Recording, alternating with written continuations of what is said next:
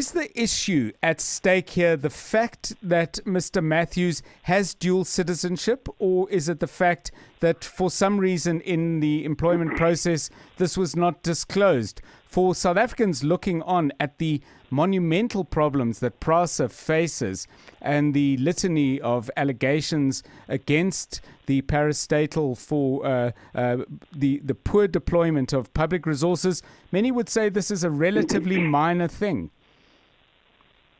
It is not, Rajon.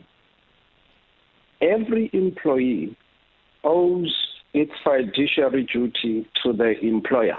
Yes. In the main, what has to happen is that once the employment relationship is established between the employee and the employer, a duty to make a, a, a full disclosure by the employee to the employer uh, arises.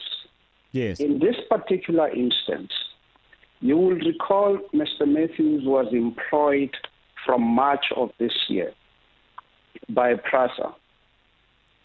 In the letter of his employment, there were conditions or requirements that he had to satisfy for his contract to be permanent.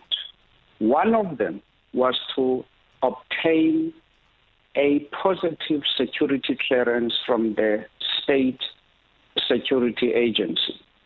The second was probation, that he has to perform his duties as per the performance contract and, and, and, and, and, and the likes.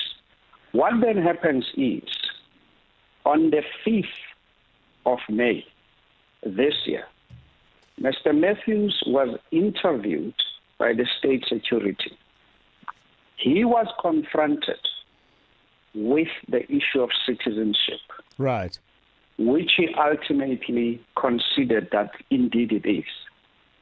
On the 8th of May, Mr. Matthews filled in a form of disclosure, whereat when he is asked to disclose his nationality, Mr. Matthews deliberately concealed his nationality, meaning the second nationality that is he has or citizenship, that of the United Kingdom.